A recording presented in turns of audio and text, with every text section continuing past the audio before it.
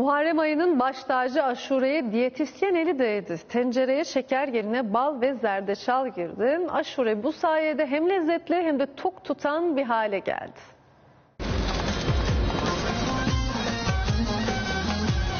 Balımızı da aşuremize ekliyoruz. Kilo vermemize yardımcı olan kısım ise zerdeçaldır. Kan şekerini dengeleyen tarçını kullanacağız. Tadı neredeyse aynı. Bu aşurenin farkı içindeki bal ve zerdeçalda saklı. Özellikle diyet yapanların baş tacı. Hele de diyet aşure yapmak çok çok daha kolay. Aslında üç temel ana malzeme haşlanmış kuru fasulye, nohut ve buğday.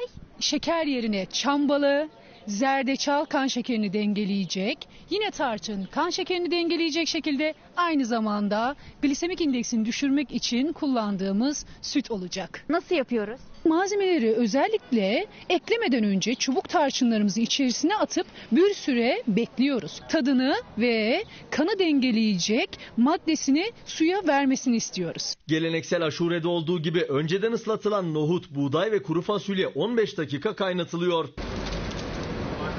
Aşureyi güçlendiren diğer malzemelerle devam ediyorum. Kuru incirimizi ve kuru kayısımızı ekliyoruz. Kalorisini düşürmek için özellikle kuş üzümü ve sarı üzüm kullanıyorum. 20-25 dakika kadar kaynadı aşure. Sıra geldi onu tatlandırmaya. İşte püf nokta da burada başlıyor değil mi hocam? Hem aşurenin rengini açan hem glisemik indeksi düşük hale getiren sütümüzü ekliyoruz. Şeker yerine bal kullanıyoruz. Çam balı biliyorsunuz ki düşük kısık ateşte bir süre kaynadıktan sonra hem zarar görmez hem de faydası değişmez. Ardından yağlı tohumlar dediğimiz bizim kahvemizi daha faydalı hale getiren kırılmış fındık. Tadını değiştirmek için portakal kabuğu ekliyorum. Kilo vermemize yardımcı olan asıl burada zerdeçaldır. Ondan da çok az koyuyorum. Harika görünüyor değil mi?